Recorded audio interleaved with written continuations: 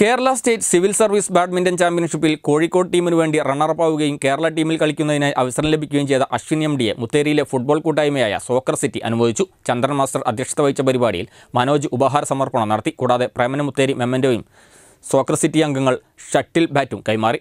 Balakrishnan Mutheri Nithin S Vignesh Mutheri എന്നിവർ ചടങ്ങിൽ സംബന്ധിച്ചു.